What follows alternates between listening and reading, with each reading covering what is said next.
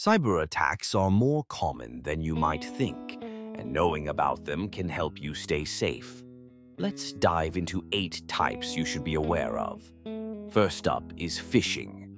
This sneaky tactic tricks you into giving away personal information, often through fake emails that look real. Next, we have the man-in-the-middle attack, where hackers intercept communication between two parties, making it seem like a normal conversation. Then there's DDoS, or Distributed Denial of Service. This attack overwhelms a website with traffic, causing it to crash. SQL injection is another serious threat, where attackers manipulate a database through vulnerable web applications to access sensitive data. Zero-day exploits target software vulnerabilities that developers haven't patched yet, leaving systems open to attack. Ransomware takes it a step further by encrypting your files and demanding payment for their release.